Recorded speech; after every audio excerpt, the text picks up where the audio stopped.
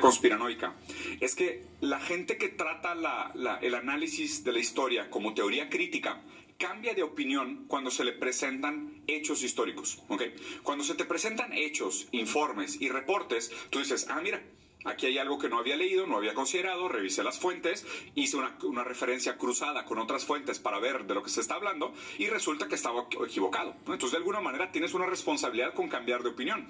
Y la gente que en lugar de teoría crítica tiene una teoría conspiranoica sobre la historia, se topa con estos videos como el de Trump diciendo íbamos a hacer colapsar Venezuela para quedarnos con su petróleo y aún así dicen no no, no, no es eso. No, no, no, no es culpa, no es culpa de Trump, no es culpa de Estados Unidos, es culpa de, de, los presidentes que ha tenido Venezuela. Y luego ven que hay un reporte de la ONU que dice, oye, 99% de la pérdida de plusvalía o de la pérdida de ganancias que tuvo Venezuela tuvo que ver directamente con las sanciones. Dice, no, no, no fue eso, no son las sanciones, no son los embargos. El, problema es el socialismo, ¿no?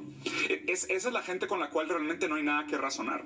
Yo sinceramente hace bastante tiempo ya que llegué a la conclusión de que los debates no funcionan para nada, porque la gente en su gran mayoría, y casi lo pudieras ver como un proceso bioquímico, de que van a buscar aquellas informaciones que validen lo que ya creían. Porque cambiar de opinión cuesta mucha energía. Entonces, bioquímicamente hablando, hacer que tu cerebro cambie de opinión es muy cansado. Y la gente no lo quiere hacer. La gente solo quiere escuchar aquello que ya cree. Entonces, por eso prefiero por lo menos platicar con la gente que está más cerca de estas posturas. Porque la gente que está secuestrada ideológicamente o de plano tienen síndrome de Estocolmo y están enamorados de sus torturadores, con ellos no hay mucho de qué hablar.